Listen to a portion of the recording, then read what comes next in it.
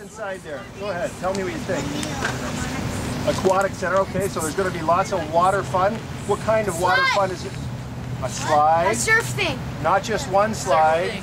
Some of the slides are going to actually come outside of the building and go back into the building. So you're actually going to come outside to go back in when you start on some of the slides. Really important for us to make sure that we get the uh, the kids involved who are going to be using this facility, and that's what today is all about.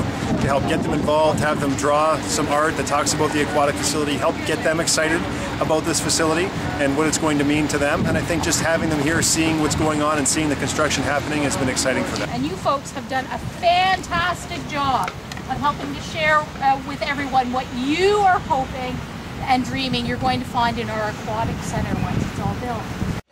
This originally spun out from a children's concept.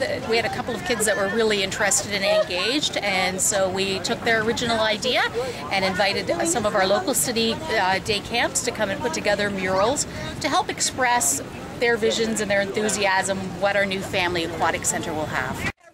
Recreation and culture really is a, a central concept uh, here in Windsor. We're very proud of our facilities that we have, and we live in a really unique and wonderful environment. And so this just gives the, the children an opportunity to express their enthusiasm and really share with everyone uh, the joy that they have for this facility.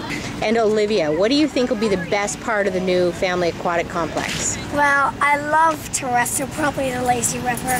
I would like to see rock climbing and a sur- I would like to see rock climbing here.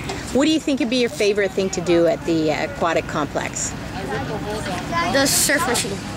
I think like when the diving board, like, Yeah, and how about, oh, go ahead. and the surfing. Yeah, what about you, Betty? I think about the slide.